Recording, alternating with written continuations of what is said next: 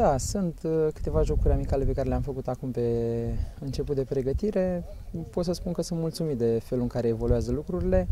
Încet, încet ajungem și noi la parametrii normali. Uh, am la dispoziție un lot uh, bun care are nevoie de multă, multă seriozitate, multă concentrare. Cred eu că lucrurile vor evolua încet, încet și am speranțe că la începutul campionatului vom fi la un nivel bun. Care ar fi plusurile și minusurile de până acum, să zicem? Că probabil așa o părere de ți format.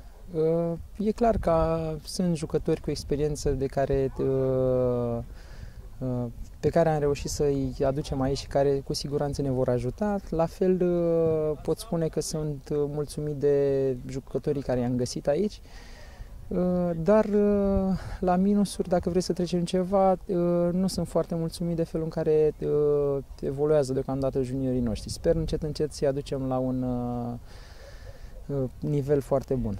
Deci, da, cum ți s-a părut, două reprize diametral opuse, să spunem. Da, am întâlnit o echipă preocupată să paseze, o echipă preocupată să aibă o posesie, o cunosc foarte bine, de-a lungul timpului am jucat aproape în fiecare an câte un joc amical împotriva lor.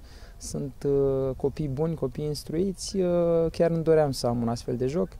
Uh, și noi am evoluat prima repriză, cred eu, bine spre foarte bine. În schimb, în a doua repriză, e clar că am suferit și datorită schimbărilor care le-am făcut la pauză dar și datorită faptului că am uh, folosit un număr mai mare de junior, v-am spus. Ultima întrebare ar fi legată de ceea ce urmează, următoarele amicale cantonament? Avem jocuri de pregătire în continuare, primul fiind uh, sâmbătă, după care uh, la fel încă două jocuri amicale săptămâna viitoare, urmând ca pe data de 13 să plecăm în cantonament la, la Căciulată.